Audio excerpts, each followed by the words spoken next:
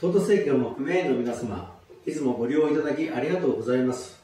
株式会社奈良のトマト代表取締役社長の井垣です。当社は原料農産物の味を大切にし、大きさと健康を心がけた食品作りを行っております。東都生協様には、ここにご覧いただいている製品を取り扱っていただいています。それでは、糖と高原夏摘みトマトジュース食塩無添加のこだわりのポイントをご覧ください。